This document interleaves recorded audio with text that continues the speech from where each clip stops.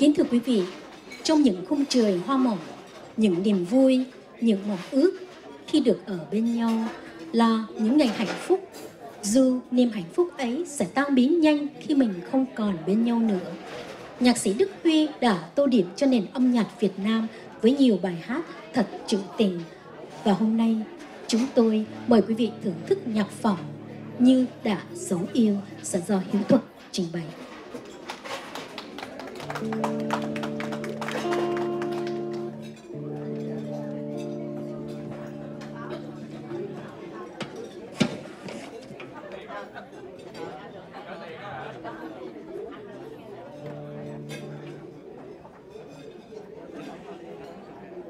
tôi xin kính chào quý vị.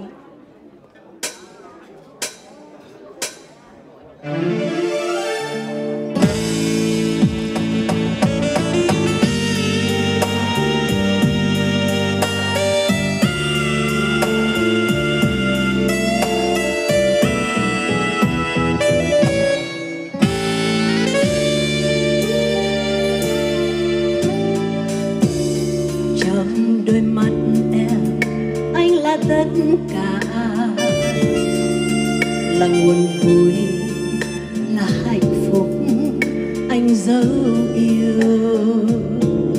Nhưng em ước gì mình gặp nhau lúc anh chưa ràng buộc và em chưa thuộc về ai.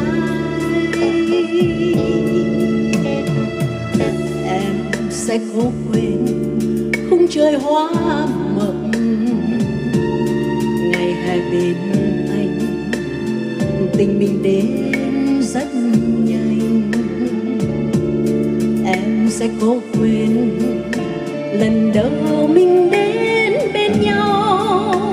Rộn ràng như đặt dấu yêu từ thuở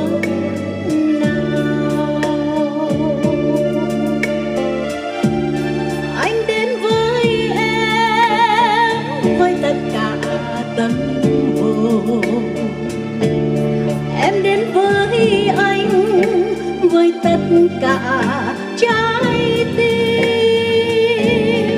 Ta đến với nhau muộn màng, cho đớn đau một lần, cho mãi nhớ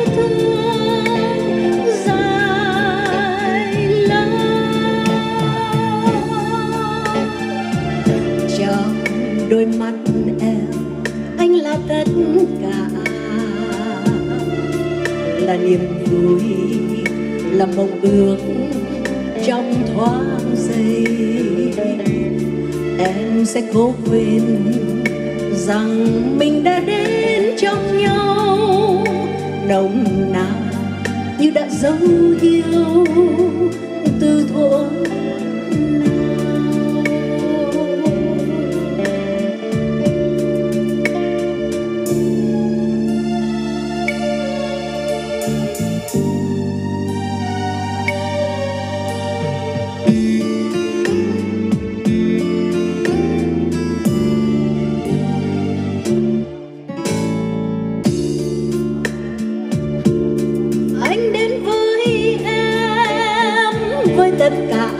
Tâm hồn. Em đến với anh, với tất cả trái tim. Ta đến với nhau buồn mang cho đớn đau. Một lần cho mãi nhớ thương.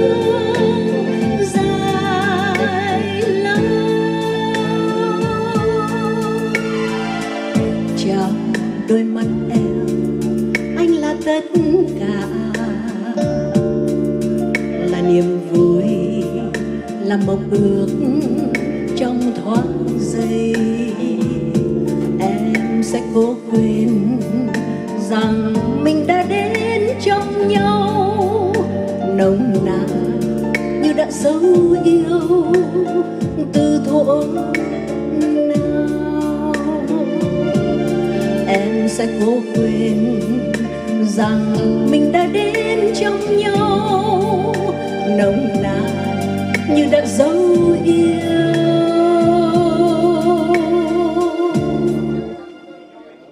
Từ thuở này